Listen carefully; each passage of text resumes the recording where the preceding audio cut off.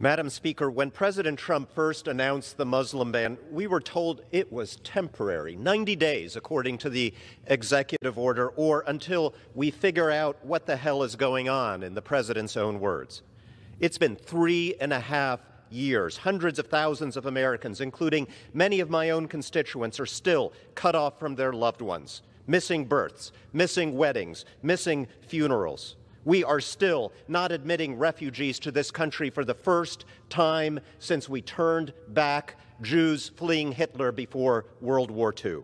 And by now we know exactly what is going on. It has nothing to do with national security. It never did. There has never been a deadly terrorist attack carried out in America by someone from any of these countries. One of them is Iran, after all, a country that has itself, whose people have been targeted for extinction by ISIS. How many times do we hear from the administration we stand by the people of Iran even as we ban them from visiting our country?